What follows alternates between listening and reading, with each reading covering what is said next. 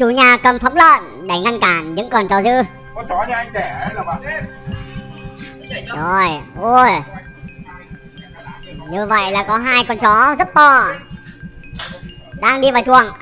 Và có một shipper đây. Vâng. Chuyện gì đây.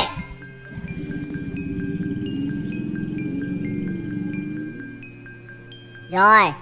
Như vậy là shipper đã rời đi những chú chó thì vẫn đang trong chuồng. À đây rồi. Ô đây, nhảy ra rồi. Đấy. Nhảy ra ra rồi. Ui ui ui ui, chó thế này thì nguy hiểm ấy đấy, nhảy ra chạy ra ngoài rồi. À nhưng mà sao đây? Lại chạm trong chuồng hả? À đấy rồi. Như vậy chúng nhà đã cầm đồ long đào ra để nạt chó. Ôi, một tay đồ long ui, đồ long đào thì gãy rồi một tay dùng đồ long đao, một tay dùng phóng lợn nhờ. Đấy.